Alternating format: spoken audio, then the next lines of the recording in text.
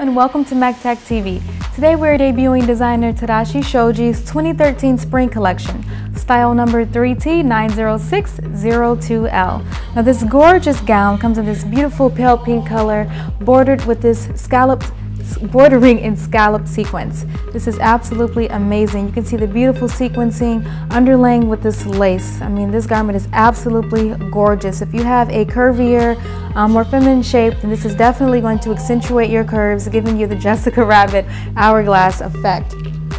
Again, this gown has sequencing all throughout the body of this dress. In the underlay, of this gown is this silky material here coming in this uh, soft pale pink color. Absolutely gorgeous and it's very, very soft. if we turn around here, we'll see that this dress is going to hit you nicely off of the shoulders. You can either um, play with it either um, a little higher or you can um, drop it down just a bit more just to make it a bit more sexy. So again, this dress has a transparent zipper and it stops right on the mid um, buttocks area. So this dress has a lot of movement and this dress does have a um, very small train so when you walk it's definitely going to leave a stance.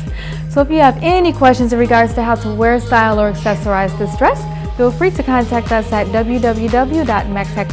www.thebrandingcoach.com.